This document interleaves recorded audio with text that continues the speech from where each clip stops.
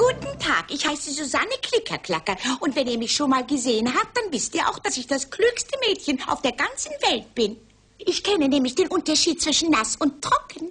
Diese Badewanne ist ganz voll Wasser und das ist nass. Und ich bin trocken.